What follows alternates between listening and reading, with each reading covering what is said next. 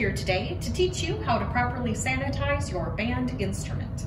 It is always important to keep your instrument clean and sanitized. Here are the basics of how to properly sanitize your woodwind or brass instrument. Before you begin cleaning, it is a good idea to make sure that your instrument cleaning supplies are clean and ready to go. If your swab or mouthpiece brush is looking like it's seen better days, it is a good idea to purchase some replacements so that you can guarantee that you have clean, reliable materials for your use. To begin, let's talk about cleaning mouthpieces.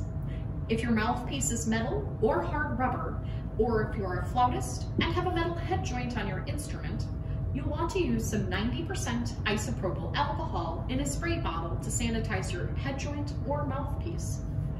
Spray it down with the alcohol let it sit while the alcohol evaporates. Once that is evaporated, rinse the mouthpiece or head joint off with water. Be sure not to use hot water, especially if you have a hard rubber mouthpiece, as this could lead to discoloration.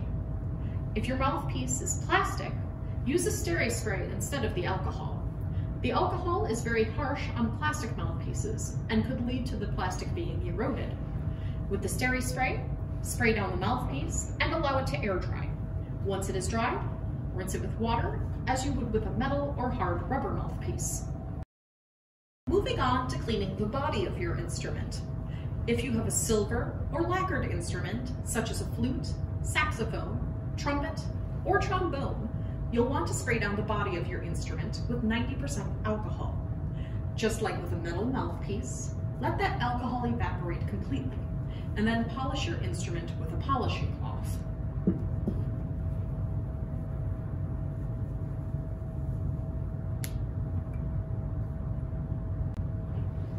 For wooden or plastic instruments like clarinets or oboes, take a clean swab and mist it lightly with Steri-Spray.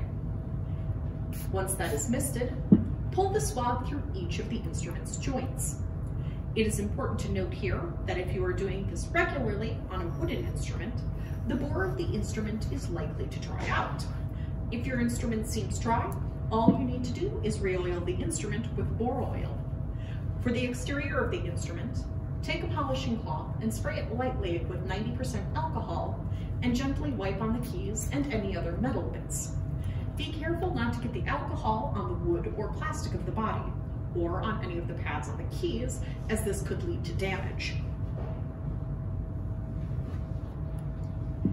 If you play a reed instrument, we suggest spraying your reeds with Steri-Spray and allowing them to sit for one minute to dry after you play. However, if you have been sick recently, it is recommended to dispose of any and all reeds you have played on while sick and start playing on new reeds. Finally, we'll talk about sterilizing your instrument's case, inside and out. Take some 90% alcohol in a spray bottle and spray on the exterior, interior, and the handles and latches, and allow the case to dry. Once that is dry, your case is completely sanitized. We here at Heid Music hope this helped you out so that you can be safe as you continue to enjoy making music. Happy playing!